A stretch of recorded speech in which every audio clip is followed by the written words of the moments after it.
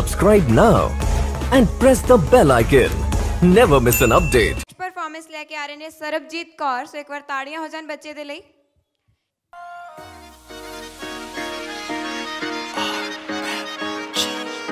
ਆਓ ਸ਼ੌਕ ਸਾਰੇ ਪੂਰੇ ਠੋਕ ਠੋਕ ਕਰਦਾ ਮੈਨੂੰ ਸਾਰੇ ਕਹਿ ਤੋਂ ਰੋਕ ਟੋਕ ਕਰਦਾ ਗੱਲਾਂ ਨਾਲ ਸੁਪਨੇ ਦਿਖਾਉਣਾ ਏ ਪਿੱਛੋਂ ਆਖ ਦਿਨਾ ਮੈਂ ਤਾਂ ਜੋਕ ਕਰਦਾ ਆ ਸੁਣਨੇ ਸੁਣਨੇ ਲੱਗਦੇ ਆ ਪੈਰ ਵੇ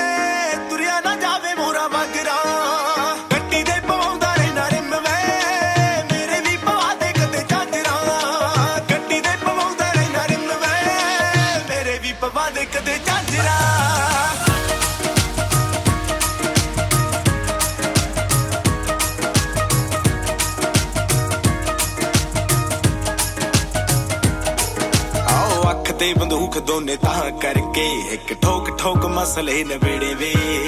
ਆਪ ਤਾਂ ਤੂੰ ਸੋਹਣਿਆ ਵੇ, ਯਾਰਾਂ ਨਾਲ ਰਹਿਣਾ ਜੱਟੀ ਬੁਣ ਬੁਣ ਕੋਟੀਆਂ ਨੂੰ ਦੇੜੇ ਵੇ। ਆਓ ਅੱਖ ਤੇ ਬੰਦੂਕ ਦੋਨੇ ਤਾਂ ਕਰਕੇ ਇੱਕ ਠੋਕ ਠੋਕ ਮਸਲੇ ਨਵੇੜੇ ਵੇ। ਆਪ ਤਾਂ ਤੂੰ ਸੋਹਣਿਆ ਵੇ, ਯਾਰਾਂ ਨਾਲ ਰਹਿਣਾ ਜੱਟੀ ਬੁਣ ਬੁਣ ਕੋਟੀਆਂ ਨੂੰ ਦੇੜੇ ਵੇ।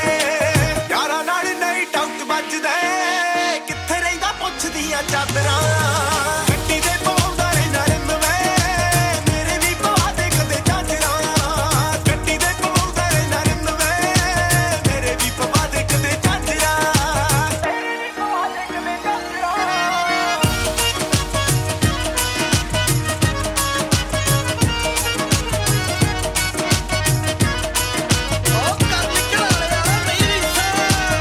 ਜਦੋਂ ਕਿਤੇ ਜਾਈਏ ਕਹਿਣਾ ਜੁੱਤੀ ਝਾੜ ਕੇ, ਜੁੱਤੀ ਝਾੜ ਕੇ ਚੜੀ ਤੂੰ ਇੰਜ ਕਹਿਣਾ ਏ।